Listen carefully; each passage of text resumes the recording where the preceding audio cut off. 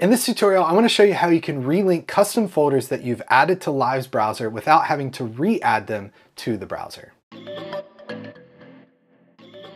Now, one of my favorite time-saving tips is to add custom folders to Live's browser. You can go to add folder, click to add them there. This works really well until one day, potentially like what I'm having here, you go to click into a file folder and you see that uh, all your content is gone. Now, this happens either because you move that folder to somewhere else in your desktop and Ableton can't find it, or somewhere else in your computer and Ableton can't find it, or it's possible that this is on an external hard drive. If it's on an external hard drive, plug it back in, you'll see it. Live obviously can't grab those files if it's on an external hard drive.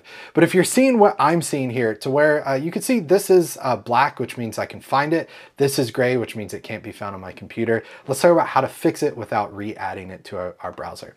So what I'm gonna do is right click on this folder here, LC file types. Uh, I'm gonna go to locate folder. Now what happened here is uh, because my desktop got too busy, too many files like it often does, I added a folder called desktop. So I'm gonna click into that and then here's that LC file types folder. I'm gonna click open and you can see that automatically gets added back to my browser. So uh, this is one of my favorite tips for saving time, adding custom folders to Live's browser. If they're missing, try this to relink them. And now if you're missing samples, if you get a message at the bottom of your live set that says, hey, uh, missing media files are offline, samples are missing, then click this video to watch how to solve that and to figure out how to get your samples back without losing your mind.